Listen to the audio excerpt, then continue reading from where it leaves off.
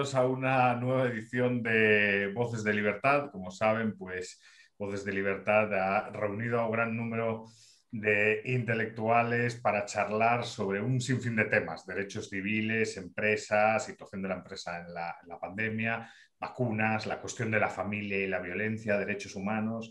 Y hoy nos toca una cuestión que, creo que es importante, es la cuestión del feminismo, el mundo de las políticas públicas vinculadas al feminismo, el tema de las cuotas, etc.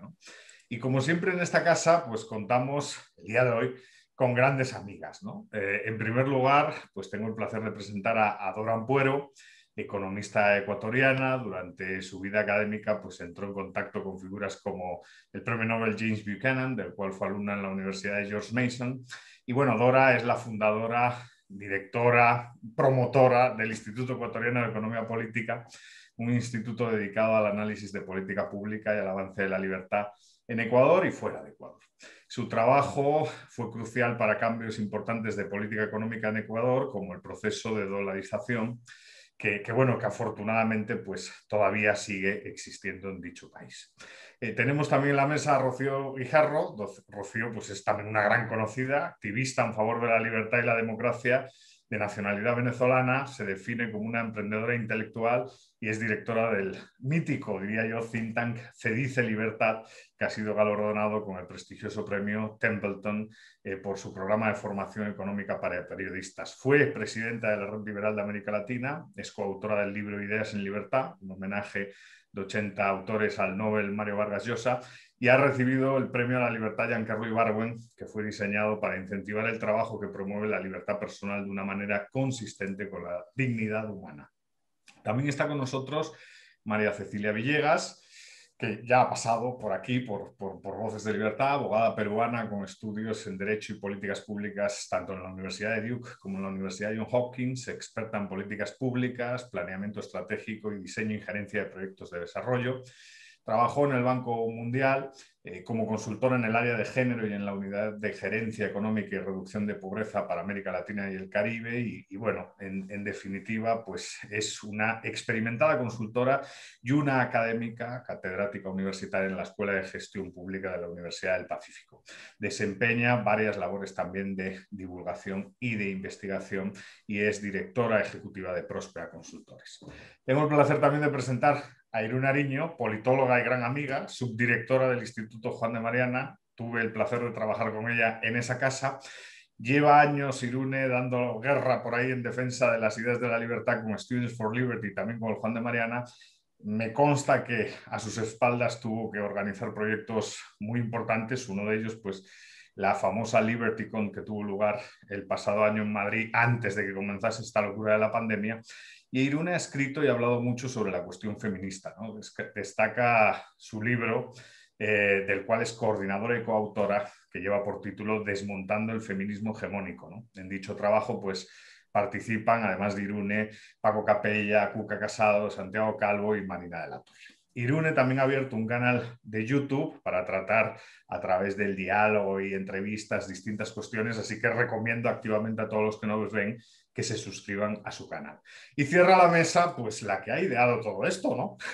La promotora de Voces de Libertad, ¿no? Berta Pantoja, nuestra queridísima Berta Pantoja, directora ejecutiva de Caminos de Libertad, presidenta de la Red Liberal de América Latina, una, para los que no lo sepan, especialista Max Weber, que yo lo supe de la mano de un seminario de Liberty Fund, de estos seminarios que se organizan en Liberty Fund, en definitiva una de las grandes defensoras de la libertad en América Latina y en este mundo hispanohablante que tanto queremos todos los que estamos, todas las que estamos en la mesa. Hoy voy a ser, bueno, ya voy a ser políticamente correcta, como Unidas Podemos.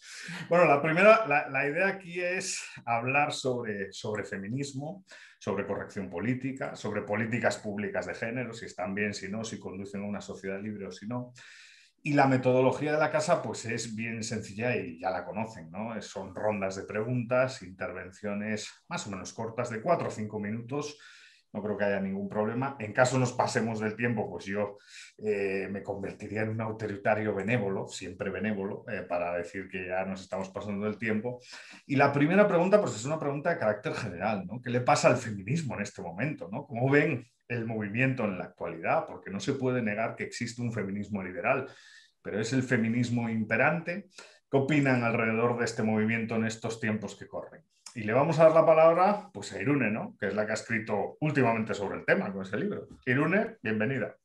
Muchísimas gracias, Edu. Muchísimas gracias a, Caminos de la Libertad. Me hace especial ilusión esta invitación y que además seas tú el moderador. Y ya no me enrollo hoy directo a responder la, pregunta.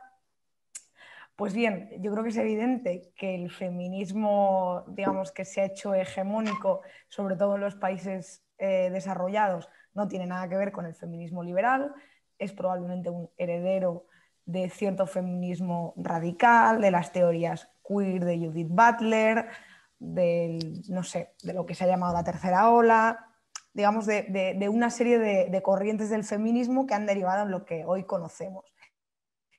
Y para mí hay tres principales problemas con este feminismo.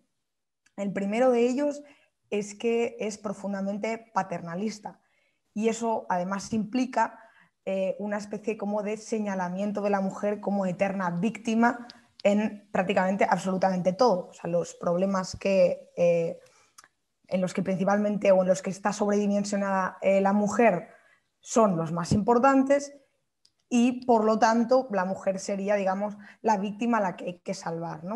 yo muchas veces digo que hemos sustituido la tutela del padre, del hermano y del marido por la del Estado y la de la, sociedad que sabe mejor que las propias mujeres lo que necesitan. Esa sería, yo creo, la primera característica. La segunda eh, característica, yo creo que es un rechazo total y absoluto a la evidencia empírica y a la naturaleza humana.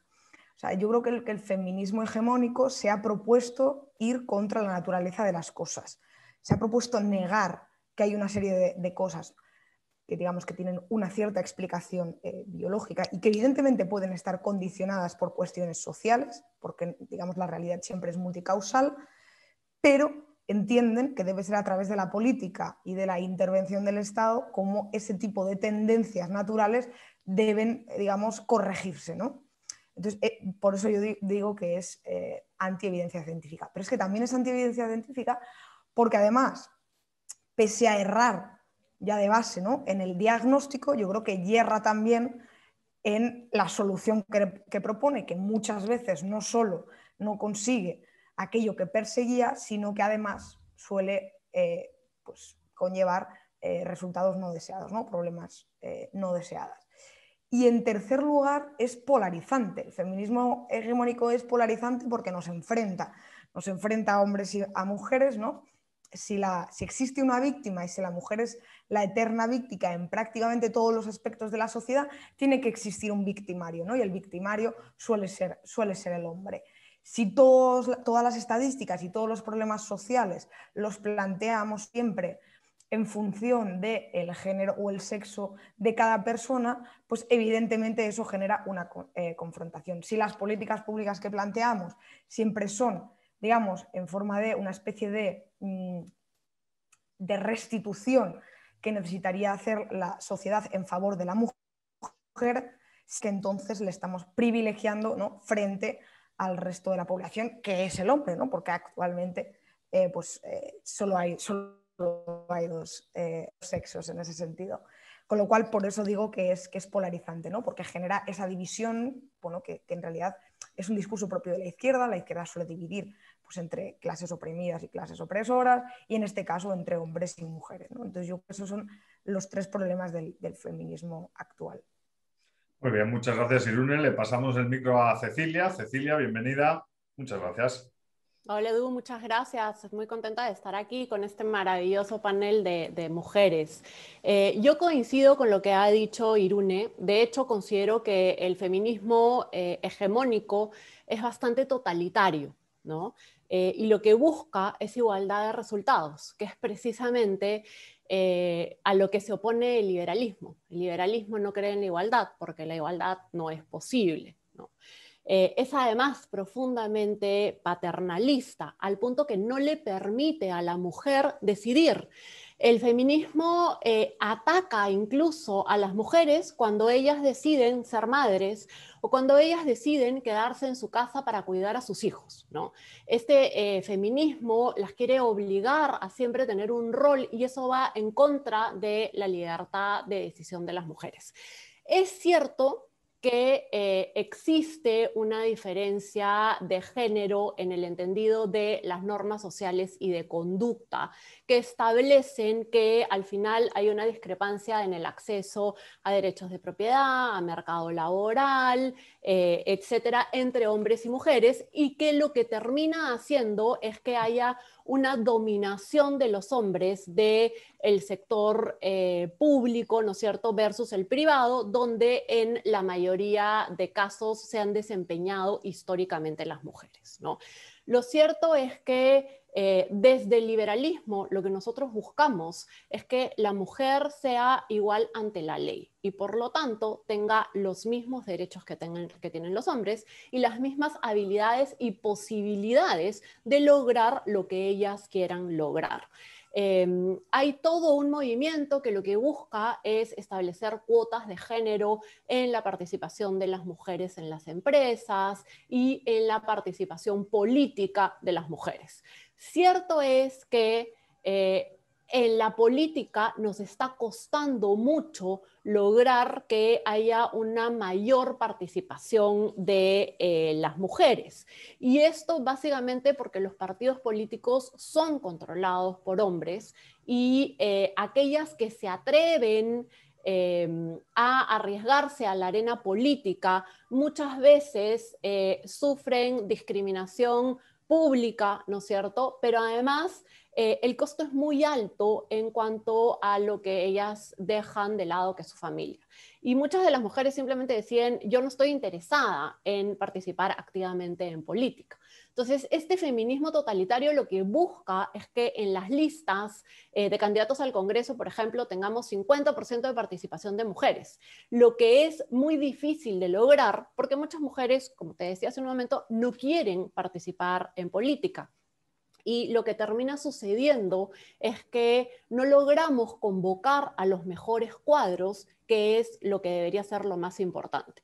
Yo creo que es sumamente importante reconocer que existe una inequidad por razones de eh, estas normas sociales y que por lo tanto eh, deberíamos intentar mayor participación de las mujeres, pero no desde el ámbito de las políticas públicas. Lo que necesitamos es que eh, las, empresas, los empresarios y los líderes eh, de los sectores empresariales desde la academia puedan ser modelos a seguir para muchas niñas o muchas mujeres que realmente sí quieren participar en política. Lo que se trata es de empoderar a las mujeres y decirles, aquí estamos, ¿no? Somos menos de, las que, de, la participación de los hombres, aquí estamos, hay una posibilidad de, lograr. Mira que hoy en día eh, en Latinoamérica, el número de, mujeres que terminan eh, estudios terciarios es más alto que el número de hombres.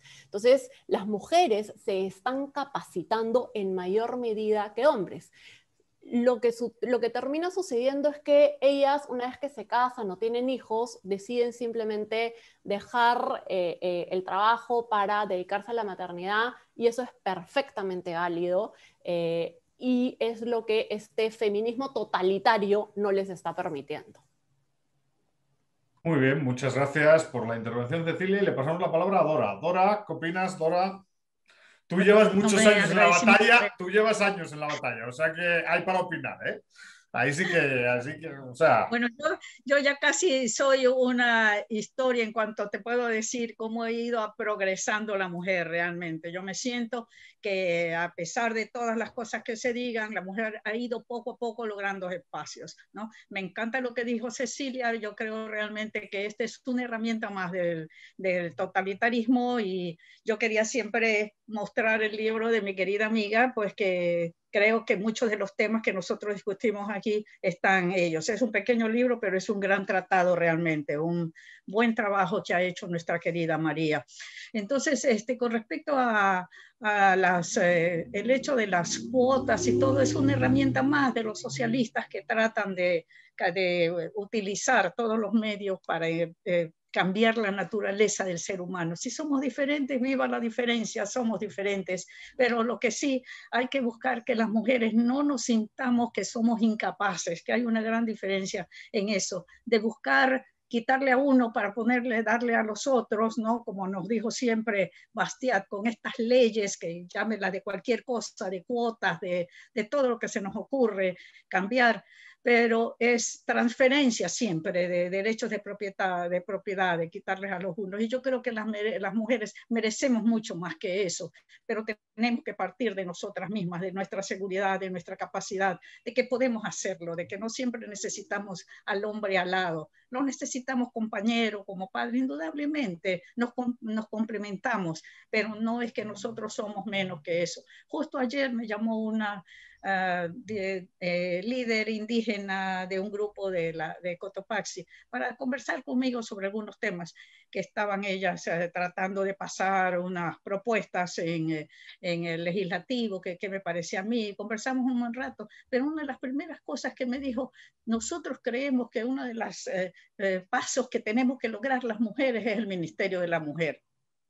No, le digo, no es a través del Ministerio de la Mujer. Lo que vas a hacer es más burocracia y lo que van a dirigir esos son los hombres al final del día. Entonces, esa burocracia grande no, no es a través de, no es a través del gobierno, es a través de ustedes, empresarias, que se formen, que aseguren que, y que los hijos nuestros también salgan diciendo que las mujeres somos capaces, que no solo somos bajo eh, ese tema. Aquí en el Ecuador se está realmente hablando mucho de las cuotas y todo.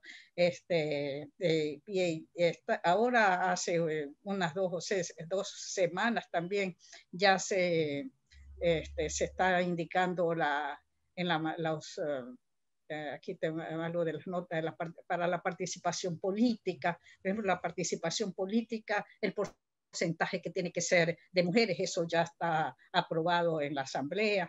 Entonces, estas otra ley que se aprobó hace unas dos o tres semanas era de prevenir y erradicar la violencia contra las mujeres.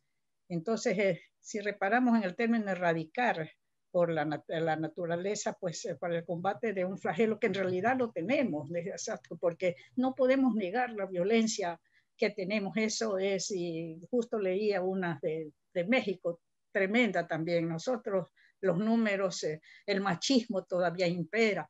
O sea que este, no, no nos podemos tampoco nosotros decir, no, cada uno de nosotros que siga en la lucha, que lo hagamos, porque hay en la sociedad, impera todavía.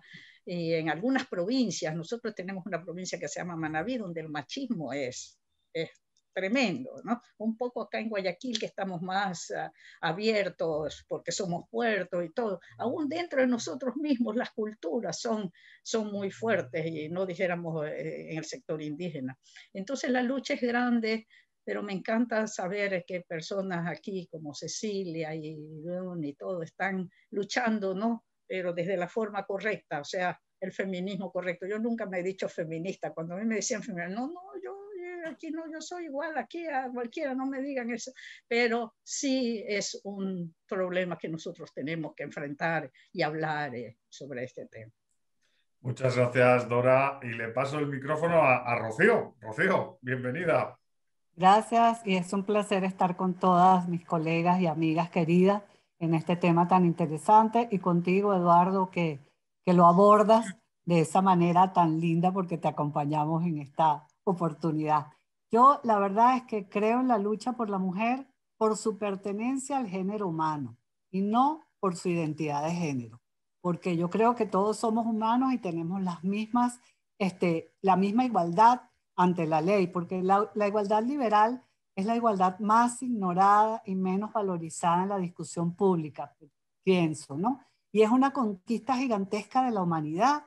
Entonces no entiendo por qué estamos en esta diatriba permanente sobre feminismo. ¿Qué es feminismo? Somos mujeres, somos madres, somos hermanas, somos iguales y no deberíamos competir con el hombre porque la verdad es que tenemos las mismas capacidades y los mismos talentos para desarrollarnos y prosperar. Yo tengo un amigo que ustedes lo conocen también muy querido, el profesor Armando de la Torre de la Universidad Marroquí, que siempre me decía, Rocío, es que las mujeres son mejores administradoras. ¿Por qué? Porque son madres, además, nada más de pensar, de tener un niño en, en, en, tu vientre, eso significa que son mejores administradoras, porque están permanentemente pensando en cómo va a ser ese futuro para tu hijo y para tu familia, ¿no? Y entonces considero que para poder tener igualdad de logros este, en todos los sentidos, no hay que privar al otro de la oportunidad, porque hay otros que van a tener también oportunidad, no hay que quitarle la oportunidad al otro, ¿no? Entonces, eso es una desigualdad que yo considero que es inmoral, porque toda esta cosa del feminismo y los movimientos lo que hacen es discriminar a los demás, a los hombres. Las propuestas feministas hoy en día son contrarias a la igualdad ante la ley, porque están promoviendo discriminación con el otro. Y esto que ustedes conversaban de las cuotas, en igualdad de condiciones, si hay cuotas, siempre vamos a ganar las mujeres. Y con eso se le está privando a los hombres la posibilidad de competir por los mismos cargos. Entonces es hacer lo mismo para un lado y para el otro. Termina siendo la discriminación un tema arbitrario, ¿no? Y, y, y se parte además de la concepción de que las mujeres somos inferiores y que no vamos a obtener la capacidad y eso no es así, porque las mujeres somos autónomas, este, talentosas, potentes y no tenemos por qué competir, sino ganarnos las, las oportunidades con nuestro esfuerzo y nuestro talento. Yo creo que el progreso que ha experimentado la mujer en los últimos tiempos está precisamente ligado al crecimiento económico, a la tecnología, a la ciencia y a todo lo que el capitalismo y el liberalismo ha producido para que la mujer pueda controlar incluso su fecundidad en un 100% y pueda decidir con su libertad si reproduce, cuándo y con quién. O sea que esa es mi óptica desde el punto de vista de todo este debate que se ha dado con el feminismo hegemónico o no hegemónico. Yo considero que la mujer tiene su lugar bien ganado y puede ganar más siendo como es una es mujer. O sea que no comparto todas estas cosas del feminismo que hay ahorita en el debate en el mundo, que además hay cosas que se ven muy feas este, de, de esos movimientos de mujeres como lo que vimos en Chile recientemente. Muchas gracias, Rocío. Y cierra esta primera ronda, pues, pues Berta, ¿no? que fue la promotora de este debate y el cerebro que articuló todo esto. La Berta, exacto, la culpable, la culpable. Berta.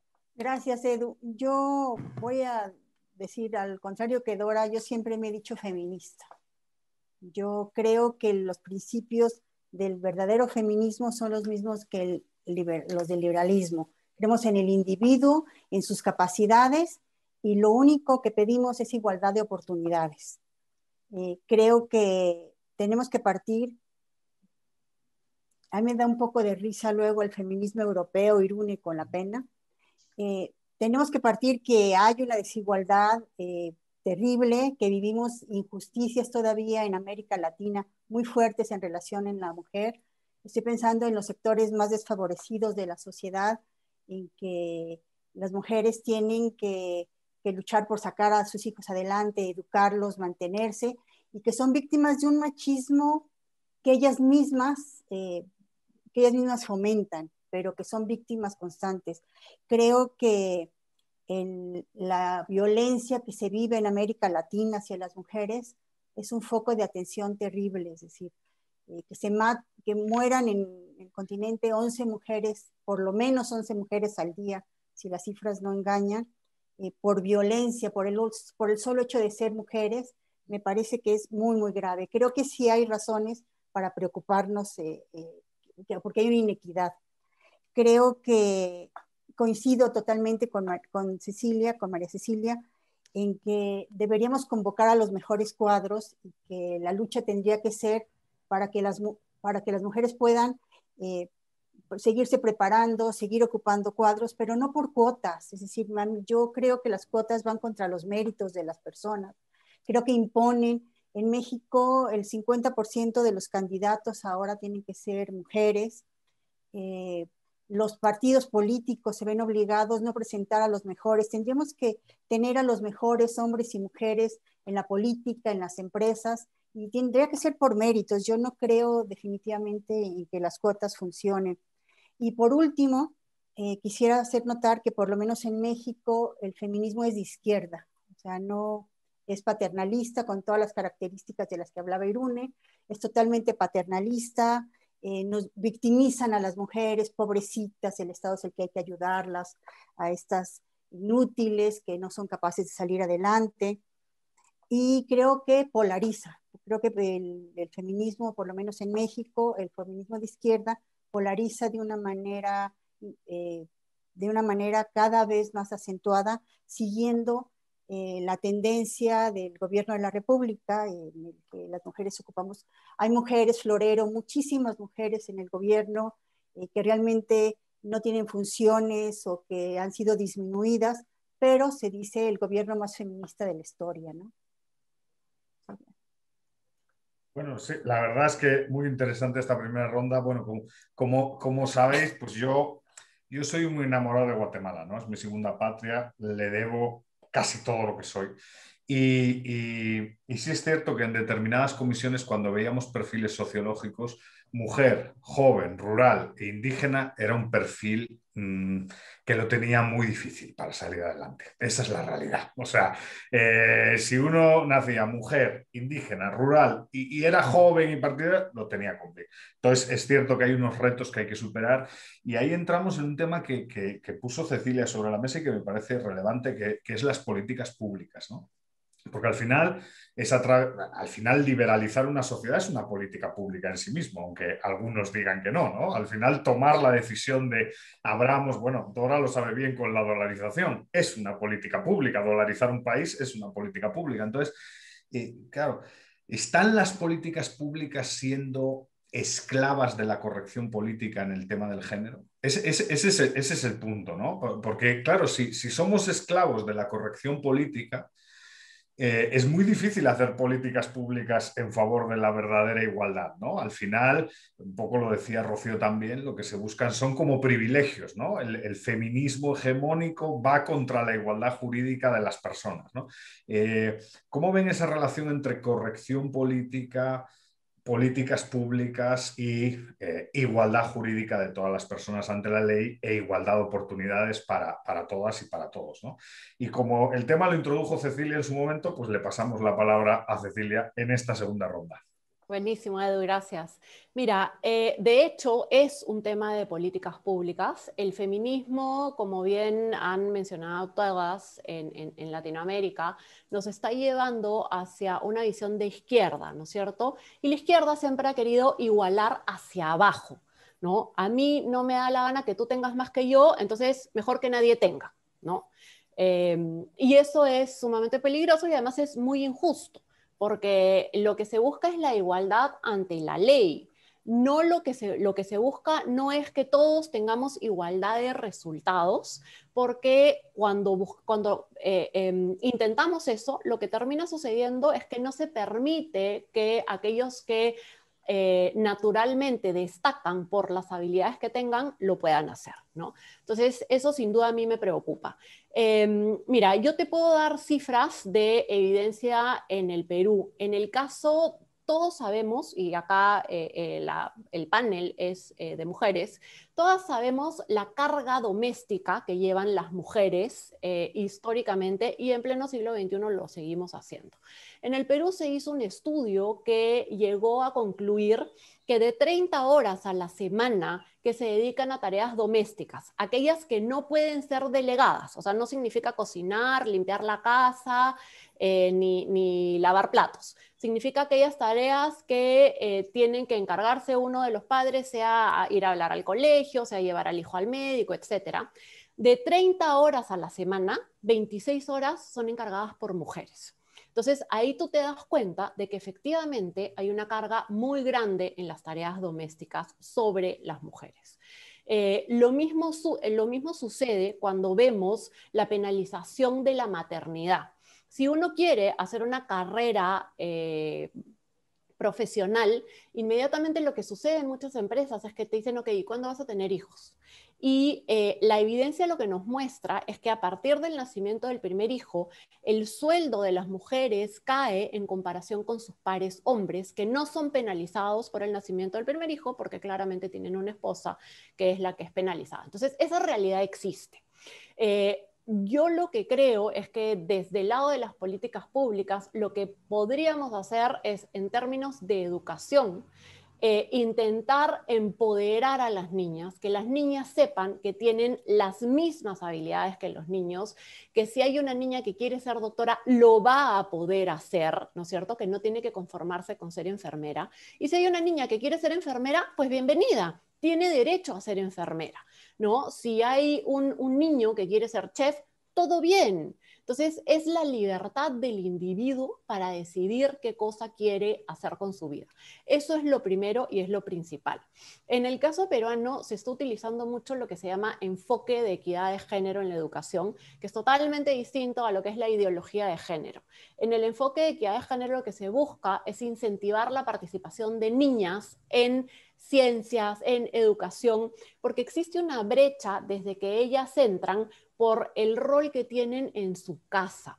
Y eso también está medido. Las madres eh, hacemos, utilizamos más a las hijas para ayudarnos en casa que a los hijos hombres. ¿No? Entonces, es el cambio de chip, es que los mismos padres entiendan que las niñas y los niños tienen las mismas capacidades y que si la niña puede cuidar al hermanito, pues el niño también puede cuidar al hermanito. Y si la niña puede tender la cama, pues el niño también puede tender, la, eh, puede tender la cama. Entonces, ese tratar de igual medida a los hijos creo que es sumamente importante.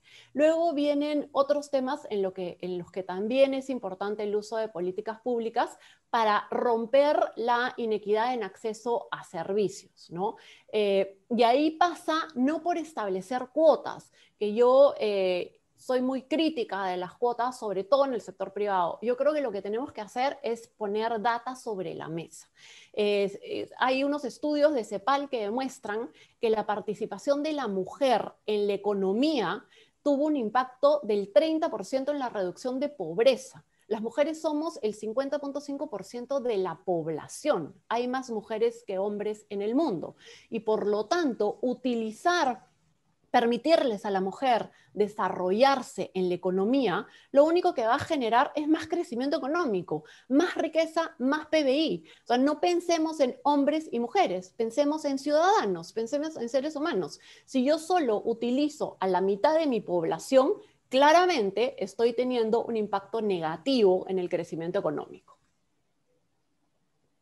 Muchas gracias, Cecilia. Y le pasamos la palabra a Rocío. Rocío, tú comentabas que, bueno, también Dora, ¿no? Que el capitalismo y la libertad económica es una máquina de emancipación, ¿no? Que sirve para emancipar a, la mujer. Yo recordaba cuando comentabas eso, mi, padre le gusta la historia de los pueblos del norte de España, ¿no? Y mi papá siempre decía que cuando la industria conservera en el norte eh, contrata a muchas mujeres, hubo muchas rupturas, ¿no? Porque la mujer ya no tenía que aguantar al esposo, que era un desastre y tal, ¿no? Ya tenía su trabajo, ya tenía su independencia económica. Es, es hay que ir por ahí para, para, digamos, construir un feminismo liberal. Sí, creo que hay que ir por allí, porque no puede haber igualdad sin libertad. Y yo creo que se equivocan aquellos que quieren convertir el feminismo en una guerra de sexo, que hay que, creo que hay que defender desde la unión, dándonos la mano en los distintos eh, causas, porque las causas es de todo. Y, y yo creo que, bueno, lo dice el índice de Human Progress del Cairo Institute, que a lo largo del último siglo hemos avanzado enormemente en materia de derechos y libertades, y especialmente para la mujer. En el mundo hoy, miles de mujeres destacan en los más variados sectores, gozando de, una carta de, posibilidades mucho más amplia. Bueno, incluso en esta pandemia, eh, Eduardo y amiga, se ha demostrado que las que mejores han manejado como jefas de gobierno el tema de la pandemia han sido estas señoras presidentas de Dinamarca, de Islandia, de Finlandia, de Alemania, de Noruega, de estos países está bien, países desarrollados, pero son mujeres las que mejores han manejado, este según la Universidad John Hopkins, que lleva este seguimiento permanentemente. Claro, en países como Venezuela, en países tan deprimidos como nuestro país, por supuesto, que aquí las brechas son grandísimas, las políticas públicas son totalmente incorrectas porque tienden a sobreproteger, entonces terminan causando esta discriminación y esta distorsión en las posibilidades de, la, de que las mujeres puedan enfrentarse al mercado de trabajo, a que las leyes, aquí sí hay Ministerio de la Mujer y Ministerio de Protección de la Mujer, nacional, local, regional, todo es protección de la mujer y el gobierno, ustedes saben, este gobierno que, que tenemos en Venezuela utiliza mucho la neolengua y aquí somos todas y todos, usuarios y usuarias, juezas y jueces. Eh, entonces, en todo este afán de sobreproteger con estas políticas públicas políticamente incorrectas, pues lo que han logrado es disminuir las posibilidades de las mujeres, porque eh, tienen un permiso casi de un año luego que dan a luz, entonces las empresas se, se limitan, cosa que no es buena tampoco, a, a contratar mujeres, porque bueno, a la hora de la verdad la productividad no es la misma, este, y entonces eso produce también mucha distorsión. En Venezuela los sectores populares están supremamente deprimidos, la última encuesta que hizo, que hacen las universidades sobre la calidad de vida, pues eh, ha demostrado que la contracción ha venido por precisamente esta excesiva regulación en el mercado laboral.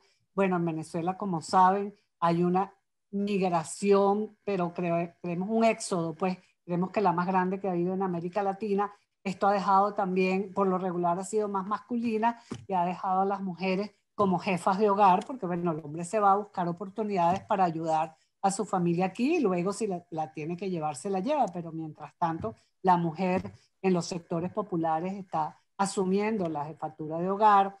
Este, entonces, todo este tipo de cosas en países como socialistas, porque termina siendo, como ustedes bien han dicho, una bandera del socialismo y de la izquierda del tema del feminismo. Entonces, eso es lo que está produciendo más bien estas desigualdades que si hubiera más libertad, más este, eh, independencia de poderes, instituciones, yo creo que pudiéramos en países como el nuestro avanzar mucho más porque es importante superar esa carrera de obstáculos que nos han puesto para conseguir una vía más despejada para lograr eh, las oportunidades que, que, las mujeres nos hemos propuesto hacer, ¿no? Entonces, bueno, y no hay nada más, más feminista que, el liberalismo, pues como bien decía Verda. Y, si, y lo que hay es que, bueno, cambiar estas políticas en nuestros países y no cambiar las palabras, que es con lo que han hecho en estos regímenes socialistas eh, el cambio en, en lo que significa la protección supuestamente de las mujeres. Irune, ¿qué piensas alrededor de todo esto? ¿Política pública, feminismo, corrección política? Pues sí, como tú lo dijiste realmente, Eduardo, la...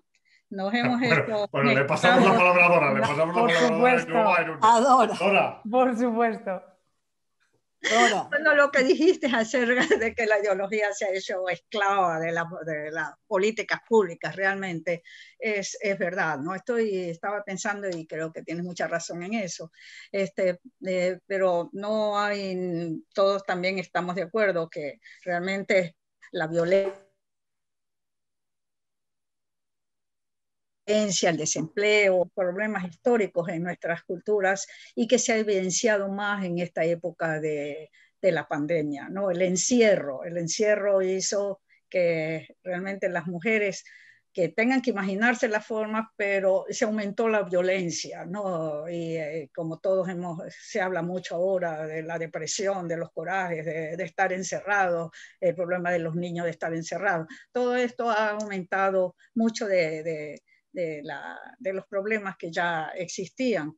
Entonces, este, y uh, con este pretexto, digamos, también se están haciendo muchas leyes y cuotas y todo, que es que lo que hemos estado hablando. Y pues eh, nosotros sabemos eh, precisamente pues a través de, de nuestro querido Bastiat y todo lo que sabemos que las leyes pues no, eh, no, que son instrumentos jurídicos pero que tienen que responder a la libertad sin atacar la libertad y la propiedad de los individuos, como dice pues nuestro amigo Bastiat siempre. Entonces, estas nuevas leyes que están saliendo en pro de la mujer, muchas de ellas más bien lo que hacen es quitarle sus posibilidades, sus oportunidades de salir adelante, ¿no? Esta, especialmente el tema que hemos estado hablando de las cuotas y todo, que con estas eh, este pretexto de, de, mejorarles la vida, lo que le hace es quitar las oportunidades de, de crecimiento, de que salgan adelante, de que ellas mismas se eduquen. Este, eh, creo que Cecilia mencionó este tema de las niñas, de las madres, pues que siempre hemos pensado por aquí que eh, en el hogar las niñas son las que tienen que hacer las cosas, que no tienen que hacer los varones. Todas esas ideas ya tenemos que irlas nosotros cambiando y darles las oportunidades a las mujeres. Yo siempre digo que eh, yo soy estudiosa de libros porque desde muy pequeñita yo sé que empecé a primer grado y mi mamá, si uno tenía un libro adelante de leer, mi mamá no nos hace hacer nada en la casa, ¿no? La que Dora está leyendo, no la molestes a Dora que está leyendo. Entonces, para mal o para bien, desde ahí seguir leyendo toda la vida. Pero realmente las madres tenemos también un rol muy importante en darle esa seguridad a nuestras niñas de que no solo son ellas las que tienen que hacer lo que el hombre eh, no puede hacer, eh, no, no puede hacer en la casa, las niñas somos las de cocinar, las de hacer, que ya ha variado mucho eso, digamos, pero era mucho en mi época. Entonces hay que darle más seguridad a nosotros mismas de que nosotros podemos, de que no, no estamos menor ni mayor que nadie, que tenemos nuestras propias características, ¿no? O iguales ante la ley, pero sí diferentes y en eso es lo que yo considero que hay que seguir enfatizando, no en las leyes y las cuotas y nada de eso. Eso no tiene nada que hacer, ese es otro tema político, en nuestra vida personal como individuos que sabemos que podemos seguir adelante si utilizamos nuestras propias capacidades. Muchas gracias, Dora, y le pasamos la palabra a Irune. Gracias, Edu. Pues eh, esto es una cosa que, si no recuerdo mal, yo además la he comentado con Berta en, algún momento, y es que yo creo que el problema que, sucede con lo que nosotros llamamos Occidente es que nos encontramos, o la mayoría de las personas se encuentran en la parte superior de la pirámide de Maslow, ¿no? con todas las necesidades básicas cubiertas, con una igualdad eh, formal plena y con una serie de comodidades que nos permiten hablar de cuestiones como el lenguaje, inclusivo, ¿no? Y cosas, como diría el profesor Bastos, como más sofisticadas, ¿no? Pero que en realidad no atienden, a, digamos, a los problemas que tiene la gente en su vida, en su vida real. Yo creo que, que también lo habéis dicho y, no quería dejar de mencionarlo para que no parezca como que, como que, se, como que lo trato de, eh, una forma frívola. Yo creo que es evidente que el, rol de la mujer ha estado históricamente supeditado al del hombre, que la situación de las mujeres sigue siendo muy mala en muchas partes del mundo. Yo misma, por ejemplo, he trabajado el tema de la mutilación genital femenina, como Edu bien sabe. Y yo creo que ahí el feminismo, y no solo el feminismo, tiene todavía muchísimo que hacer, ¿no? Y por supuesto tiene que ir de la mano de buenas políticas públicas.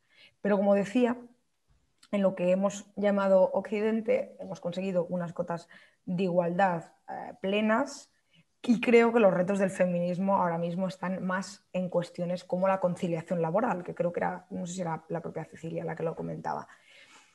Y, en, retos como ese, el problema es que, como decía en un inicio, erramos o, o yerran en el diagnóstico, ¿no? que sería una especie como de discriminación de la mujer que lleva, se, las, considera de menos, entonces les pagamos menos, o digamos existe una especie de, sesgo que hace que no queramos eh, que prosperen en sus puestos de trabajo y que lleguen a las, a las, em, a las posiciones de alto mando. Y yo creo que todo, todo, esto no es así. Y además, eh, yo creo que efectivamente era la propia Cecilia la que comentaba pues, por ejemplo, la penalización que supone la maternidad.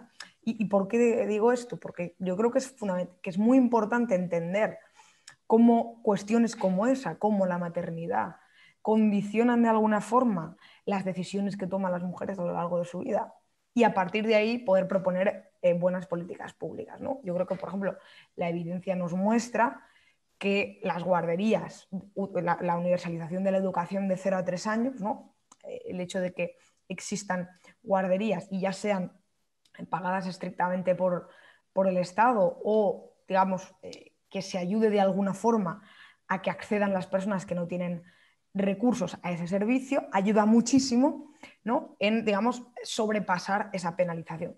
Pero también habrá que tener una cosa en cuenta, y esto también se ha comentado aquí. Quizá, aún con todo, aunque digamos, pongamos todos los medios en eliminar todas las barreras que de alguna forma siguen condicionando la toma de decisiones de muchas mujeres, incluso aunque suceda todo eso, habrá mujeres que sigan prefiriendo quedarse eh, para cuidar a sus hijos y que pues prefieran, digamos, sacrificar su desarrollo profesional. Y eso lo debemos respetar. Y yo creo que eso es, un, que eso es algo que el feminismo hegemónico no entiende.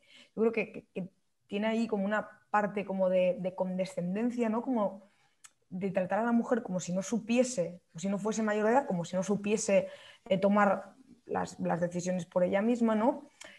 Y como le, le viene a decir como que, no, mira, tú no lo sabes, estás alienada, en realidad esto no es lo que quieres, y si las condiciones fuesen otras, querrías lo otro, que es lo que nosotros hemos decidido que es mejor para ti. Y yo creo que también hay que reivindicar eso, que habrá muchas mujeres que, querrán seguir quedándose en sus hogares. Y aquí me gustaría hacer una mención eh, al discurso, a cierto discurso conservador.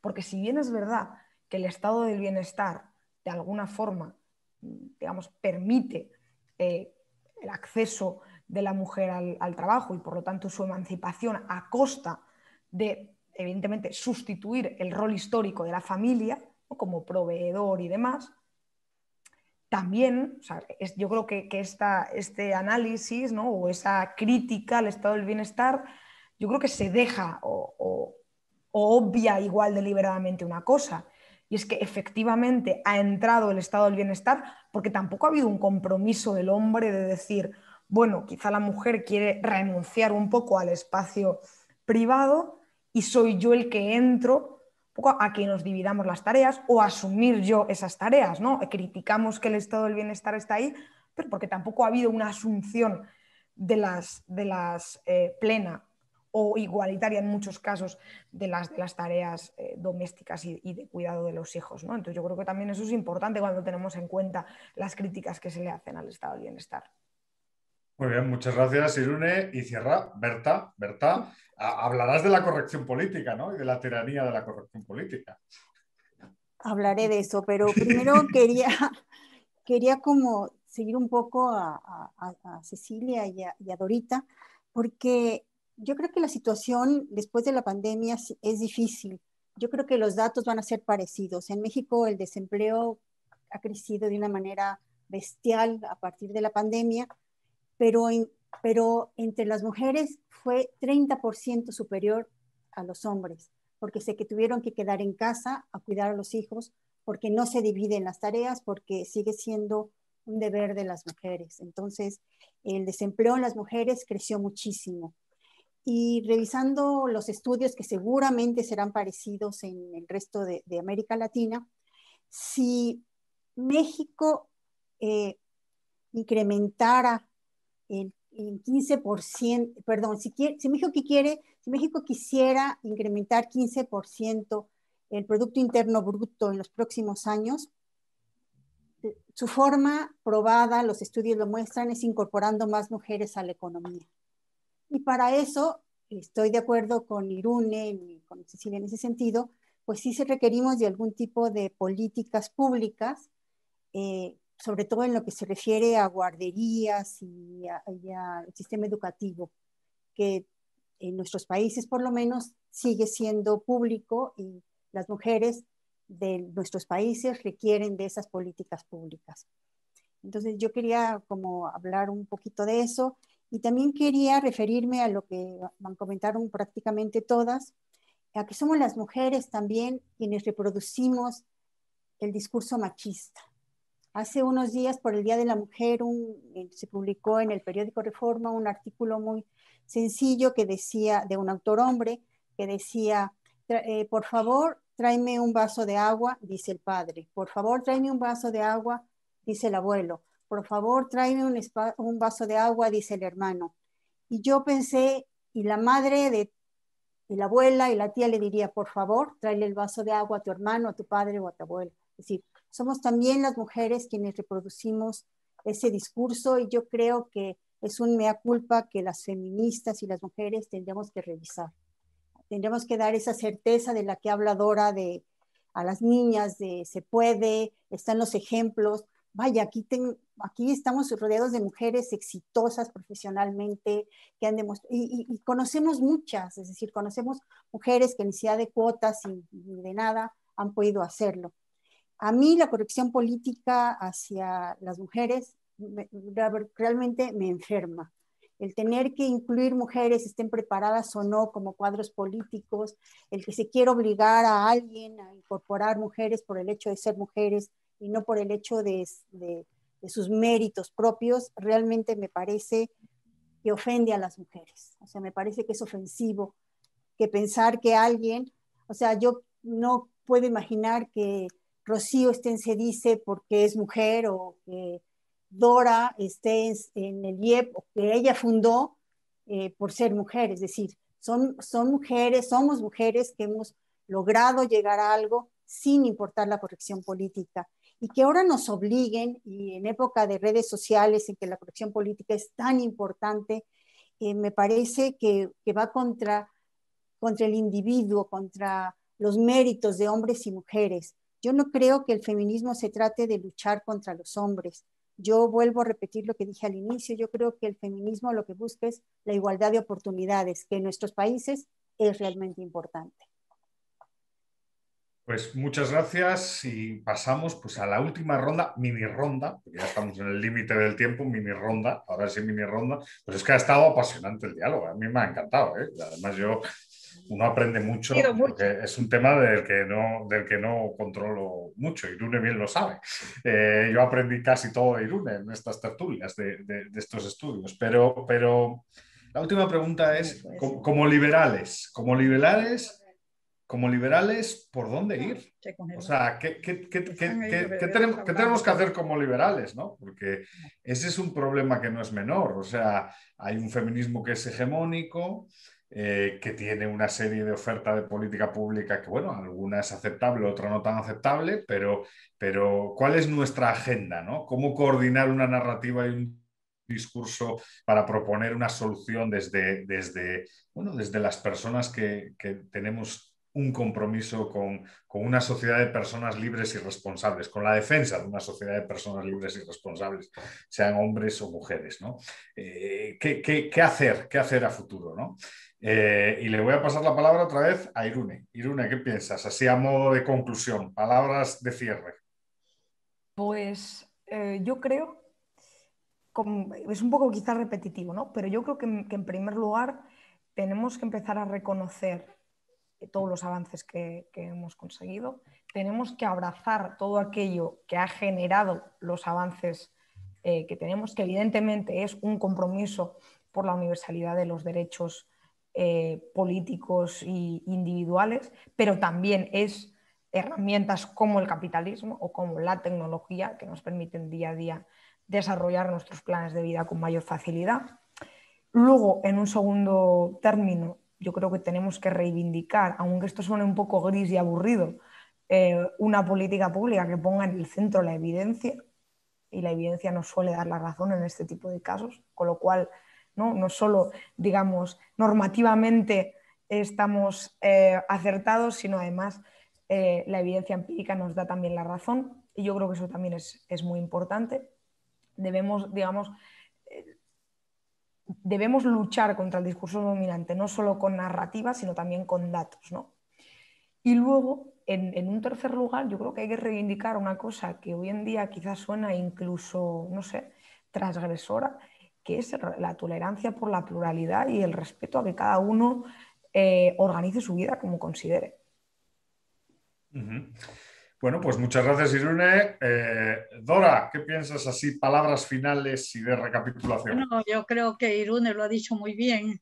Eh, yo, eh, hay que reconocer cómo hemos progresado hasta ahora y que nos hace falta mucho también que andar en este camino, pero a mí lo que sí a veces me preocupa es que todas estas eh, temáticas se traduzcan en más leyes y más leyes y más leyes, que creen que con una ley por aquí, con una ley por allá, como el que nos unió precisamente ahora esto de las cuotas y a cada rato se habla que es con la ley que hacerlo, no es con el orden espontáneo, no es con nosotros cómo vamos viviendo en nuestra sociedad. Indudablemente el liberalismo ha hecho mucho por la mujer, pero como digo, falta tanto por hacer, eh, pero depende mucho de nosotros. Y cuando queramos alguna ley pública, como tú dijiste, Eduardo, que hay que hacerla, como la dolarización, que una ley, que hay que, efectivamente hay que hacer una ley, ¿no? O nosotros, por ejemplo, ahora en el instituto estamos empujando cinco leyes este, que creemos que son importantes, que el nuevo gobierno tiene que implementarla, la flexibilidad laboral, la integración financiera, el libre comercio, y que eso se discuta y todo. Habrá siempre que hablar con el sector político, pero tratar de evitar estas tantas montones de leyes que lo que hacen más bien es reducir las oportunidades, reducir eh, la privacidad, la propiedad y todo eso. ¿no? En esa es mi, mi preocupación, en cierta forma, que hay que actuar en el nivel político de políticas públicas, pero con el cuidado de que no se transforme también en, una, en unos robos y falta de oportunidades, disminución de las oportunidades. Muchas gracias, muchas gracias, Dora. Berta, ¿qué piensas así de palabras finales? Eh, tú que has trabajado además mucho también la pedagogía ¿no? y la educación, que también hay una línea en ese sentido de, de construir igualdad y reconocimiento, ¿no? Sí. Yo, bueno, me voy a repetir un poco con Iruni, que no podría estar más de acuerdo. Eh, yo creo que, que, lo que tendríamos como liberales que hacer es lo que siempre hemos dicho, o sea, poner eh, primero que nada al individuo eh, como la base, al individuo, creer, creer en el individuo sin importar si es hombre o mujer, creer en el individuo, en sus capacidades, en, en qué es capaz de hacerlo eh, y que para eso lo que necesitamos, sin duda, o sea, sería lo último que yo eh, diría es un verdadero Estado de Derecho, no más, no menos, este, igualdad de oportunidades y Estado de Derecho, en donde lo que tú decías hace un momento, Edu, bueno, la educación juega un papel muy importante, pero no me estoy, no me estoy refiriendo solo a, la educación formal, que como decía María Cecilia, es... Eh, las mujeres estudian en América Latina, por lo menos cada vez más. Es una cuestión educativa en la que el individuo esté sobre todo, esté, esté como la base, es a lo que debe de girar todo, que es lo que los liberales siempre hemos defendido. Y eso sería mi punto. Muy bien, muchas gracias, Berta. Le paso el micrófono para las palabras finales a Cecilia. Cecilia, ¿qué piensas? Gracias, Edu. Bueno, yo no puedo estar más de acuerdo con Irune y, con Berta, ¿no? Yo creo que lo primero que tenemos que hacer los liberales es explicarle al resto del mundo que los derechos de las mujeres y la igualdad ante la ley es una bandera liberal. Desde John Stuart Mill, los liberales venimos defendiendo la igualdad del individuo, ¿no es cierto? El individuo por encima de todo creo que tenemos que ser más vocales, tenemos que salir a dar la guerra. La izquierda nos gana porque son extraordinarios tomando la calle. Nosotros somos más tímidos. Salgamos con fuerza, demos nuestras ideas claras. Por eso es que este tipo de eventos me encanta eh, porque podemos discutir y podemos dar la información eh, que tenemos. Creo que tenemos que mostrar con evidencia cuál es la realidad decir, sí, efectivamente hay una inequidad del acceso a las mujeres y tenemos que luchar planteando políticas públicas liberales para ello. Creo que eh, proyectos de comunicación donde podamos demostrar y podamos hacer que todas las personas entiendan que los hombres y las mujeres tenemos los mismos derechos y sí, somos diferentes, pero no somos diferentes acá. Tenemos todas las capacidades que puedan tener los hombres. Entonces, yo creo que eso es lo que hay que hacer, ser más vocales y salir a dar la guerra y defender nuestro bastión liberal. Muchas gracias, Cecilia, y le paso el micro para cerrar a Rocío. Rocío. Gracias, Eduardo. Sí, ha sido de verdad apasionante, como tú dices, este encuentro entre mujeres, eh, promoviendo pues la importancia de la igualdad ante la ley, que es la única igualdad que existe para que podamos desarrollarnos. Y definitivamente, este, yo que sigo el Human Progress del Cairo Institute y alguna literatura sobre el desarrollo económico y crecimiento económico, vemos siempre que las desigualdades de género disminuyen a medida que disminuye la pobreza, porque la condición de las mujeres mejora incluso más que los hombres cuando hay crecimiento económico. Yo creo que las mujeres siempre van a ganar más con la, de la prosperidad que los hombres inclusive. Y por eso las mujeres, como bien decían todas, tenemos que propulsar y propugnar por más apertura económica, más libertad, más igualdad de oportunidades para poder este, mejorar nuestras condiciones. La mujer es la impulsadora de la movilización social, de la movilización económica, porque como yo decía al principio, el tema de, de que somos madres, queremos lo mejor para ellos. Entonces siempre estamos impulsando para que haya este, mejor calidad de vida y que tengamos acceso a todas aquellas condiciones que nos permitan mejorar. Entonces, yo sí creo que en la medida en que evoluciona el mundo, la tendencia de la civilización es que las condiciones de vida mejorarán y libertad, propiedad e igualdad ante la ley conducen a mayor crecimiento económico que mejora el bienestar de toda la sociedad. Pues muchas gracias. Por mi parte nada más, ha sido un placer tener la oportunidad de moderar esta mesa y, y, y solo me queda, pues, pues lo dicho, agradecerles su tiempo, sus conocimientos y ojalá nos volvamos a ver pronto virtual o ya físicamente para saludarnos como mandan los cánones.